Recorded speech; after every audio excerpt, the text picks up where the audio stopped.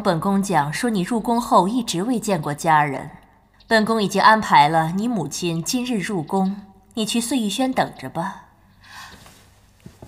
多谢皇后娘娘。哼，好好去准备着吧。安陵容听到真母入宫的消息后，脸色就变了。她嫉妒甄嬛如此受宠的同时，也羡慕甄嬛可以见到自己的家人。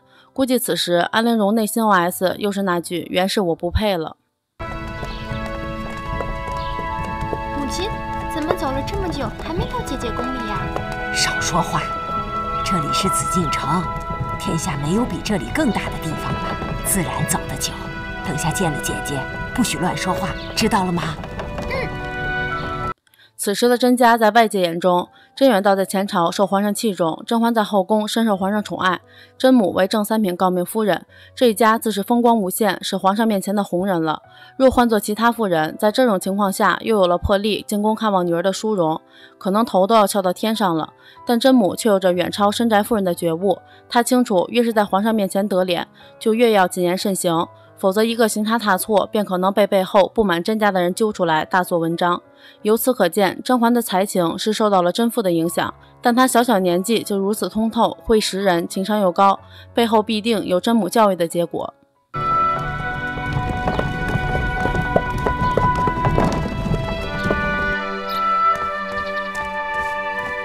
甄夫人与二小姐觐见婉嫔娘娘，快传。这。看到这儿，我们来讨论一下皇上让甄母入宫看望甄嬛的目的。表面上看，不过是因为皇上宠爱甄嬛，但实则皇上这么做，一是加上甄嬛就敦亲王事件中所做出的突出贡献，让马儿跑的同时给马儿些草吃，用甄母入宫作为赏赐，算是把甄家上下都赏了一遍；二是借此向外界传递自己重视甄家的信号。此时是反年的关键时期，重要的一步就是拉拢可用之人，控制前朝舆论。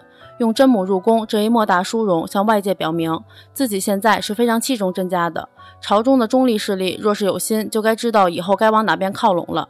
这是皇上的惯用手段了。如果在前朝过多的表现出对甄远道的重视，以控制舆论，难保不会引起年党的警觉。但利用宠爱后妃这一理由加上甄家，既能达到传达心意的目的，也不容易打草惊蛇。年党只会以为是皇上沉迷女色。这种手段以前也经常出现。